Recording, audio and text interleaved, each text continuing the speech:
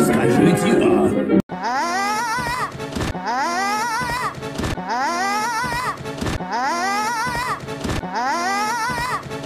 Тихо! Заткнись!